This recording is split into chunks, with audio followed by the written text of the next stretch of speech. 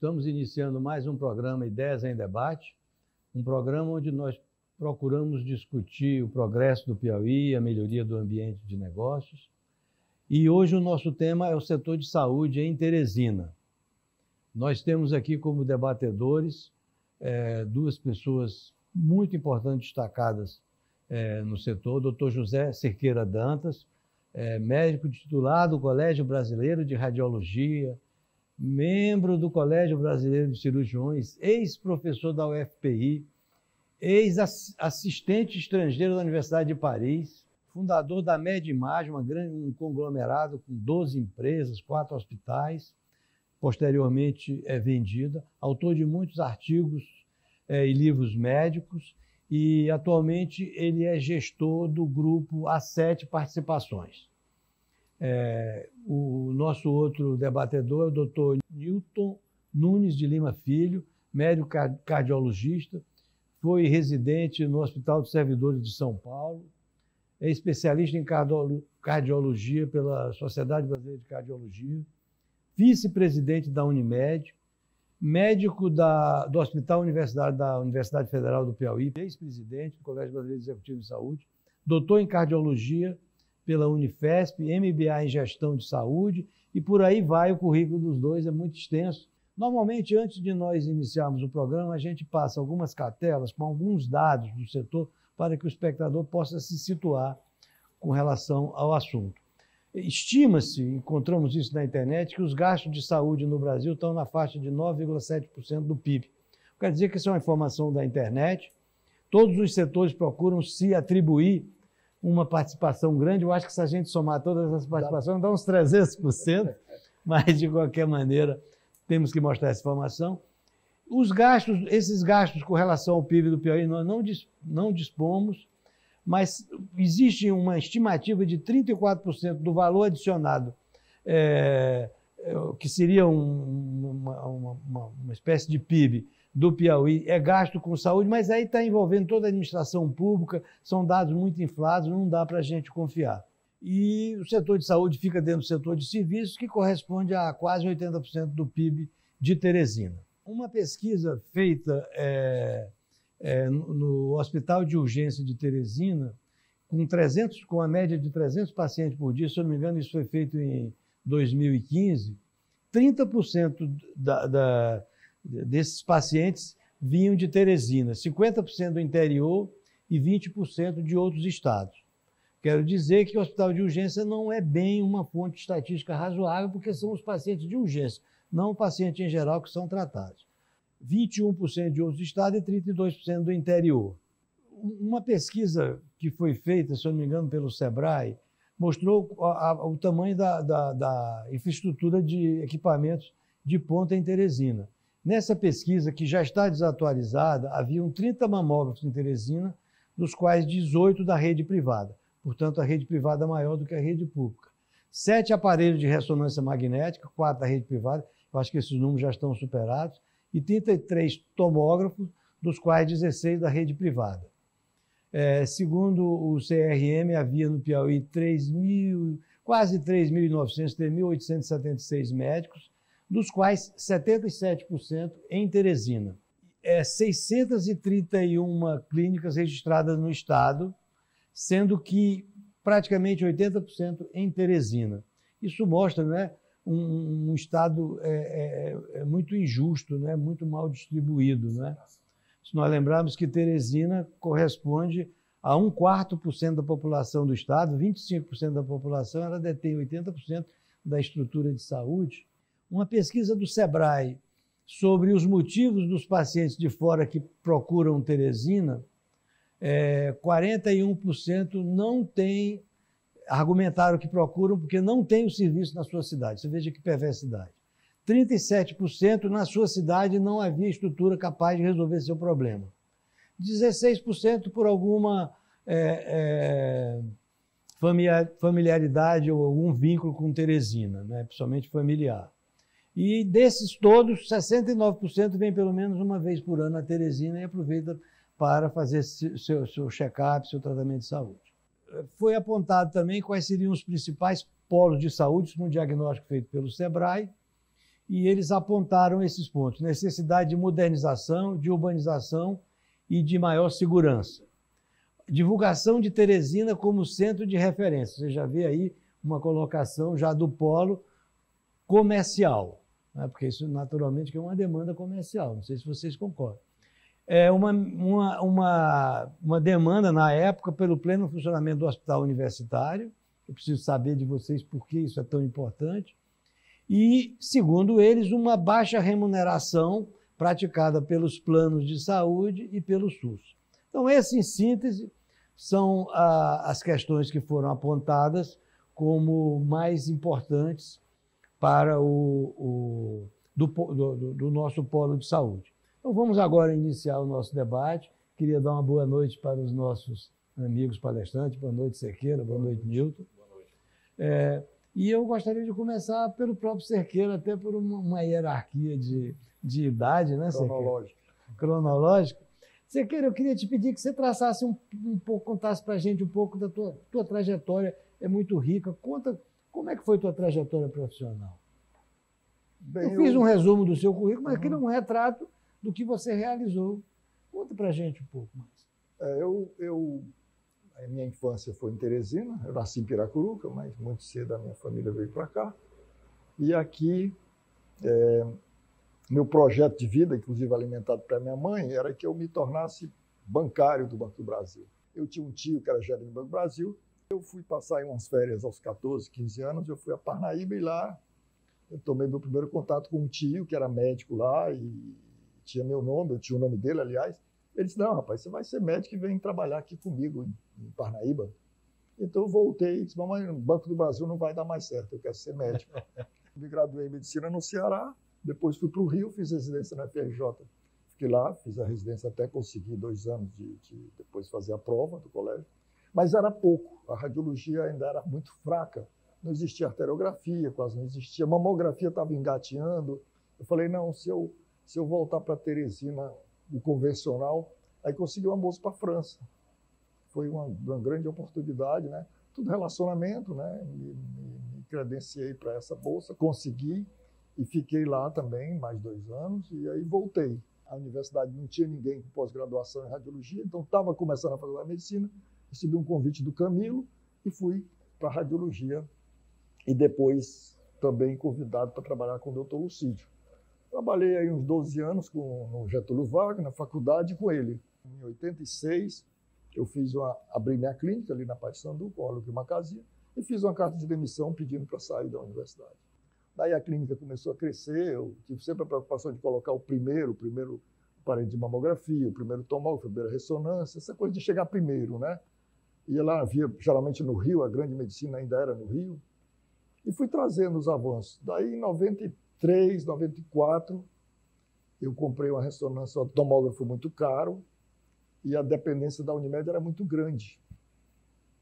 E aí os pagamentos, eu comecei a ter dificuldade para pagar, e fui a uma reunião, a diretoria da Unimed. Eu fui fundador com mais 12 colegas, seu pai, o Fernando Correia Lima, eram 12 os fundadores, éramos. Eu fui lá pedir para, pô, eu preciso, vocês me paguem assim rapidamente, eu estou numa dívida grande. E aí o Valdir era o presidente. Rapaz, mas você está gastando 30% do dinheiro nosso. Eu falei, mas vocês estão autorizando, pô.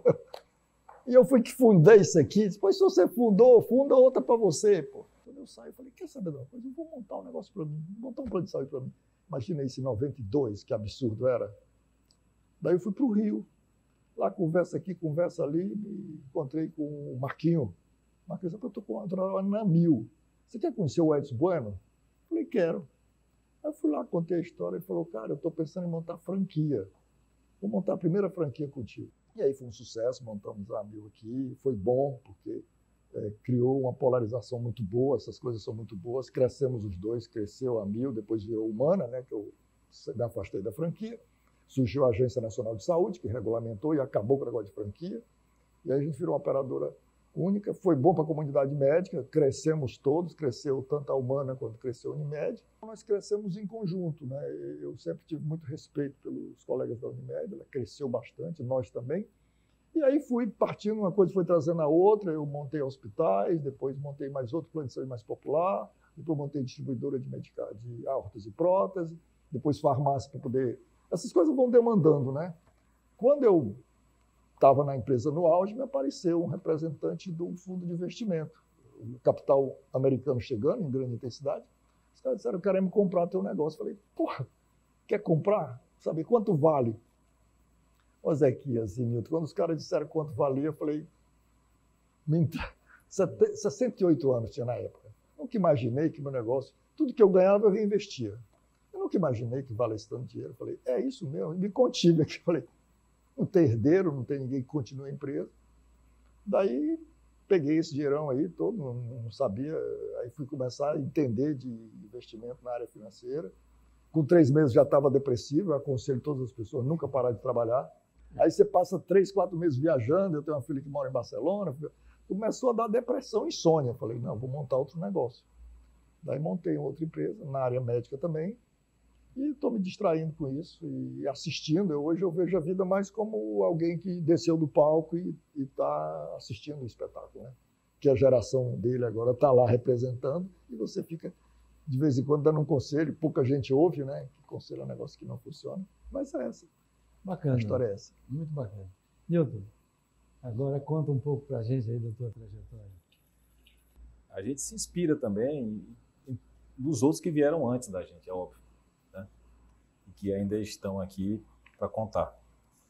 Da minha parte, eu nasci aqui em Teresina, estudei no é, INEC primeiro, que era um colégio batista, né? aí depois fui para o colégio, pro colégio Diocesano, que é um colégio católico, e lá eu terminei os meus estudos.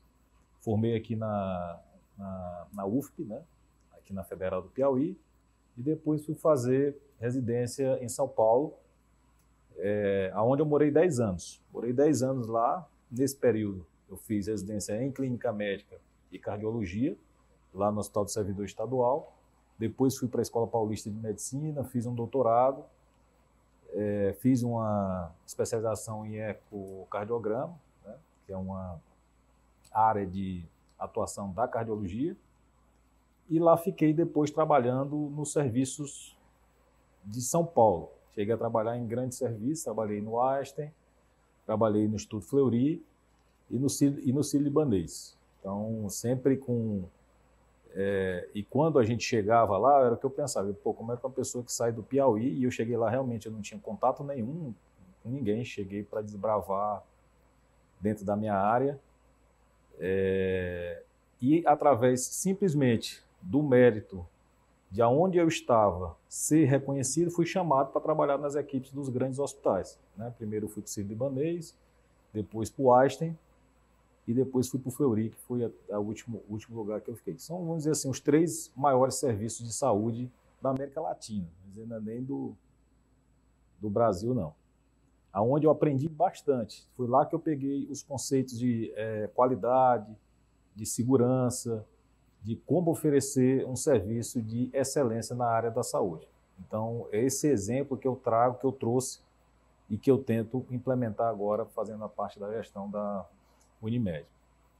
Eu voltei para cá em 2009, né? então já estou aí, a, esse ano faz 13 anos que eu voltei, e ao voltar eu montei uma clínica, sou sócio de uma, de uma clínica de cardiologia, é, e entrei na parte associativa da cardiologia. Eu fui vice-presidente da Sociedade Brasileira de Cardiologia aqui duas vezes e depois fui convidado a fazer parte da gestão da Unimed, Unimed Teresina.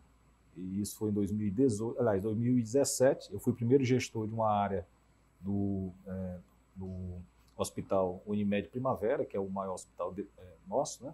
E depois entrei na chapa para concorrer à diretoria em 2000, 2018 como vice-presidente. Diretoria essa que está finalizando agora em março o seu trabalho né, de quatro anos.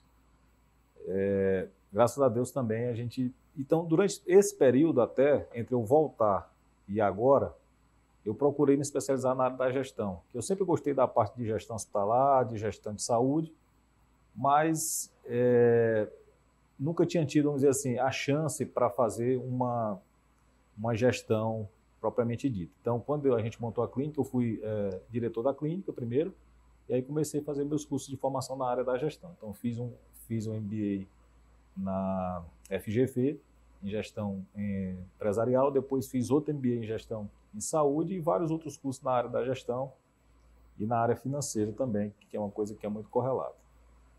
E aí, em 2018, entramos então na gestão da Unimed, fizemos um trabalho de recuperação também, que a gente entrou, estava num, num, momento bem difícil quando a gente entrou.